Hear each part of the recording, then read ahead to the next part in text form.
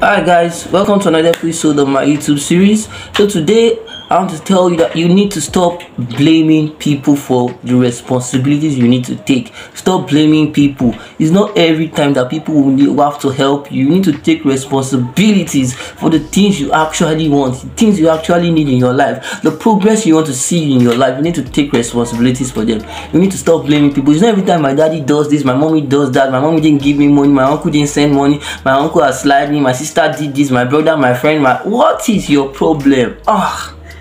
God. So you see, some people are so like weak and lost in words. When you tell them they are a failure, they go to their beds and they start crying for like two weeks, and they are so sober. And you ask them what is happening, what is happening to you, and they start saying, "Oh, Chike said I'm a failure. Uh, I can't do these things." They said that they said I can't move forward in life. What is your problem? It's time you need to take the bull by the horn. You need to start making some progress in your life by taking steps. Take two steps, one step, two steps, and you see progress in your life. Stop blaming people for what you can do yourself.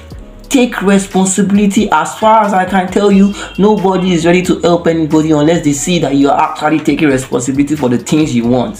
So, today, I don't have too much words to tell you. I don't want to tell you that you need to like be strong in whatever you want to do. Be strong in your mind. Don't let words get into your mind. When they tell you you can't do it, that's when you should do it. I was reading a story about Michael Jordan the other time, and he said when he was young, people always tell him he can't do these things, and that is when he has the like the power. That's when power just comes to him. Like his mindset is wired to what they tell him he can't. He will always want to.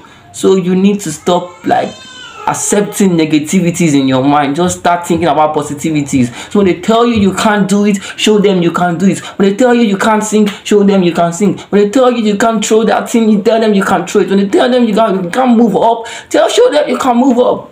It's time to take responsibilities for your life. You know? I'll see you at the other side. I'll see you at the top. Peace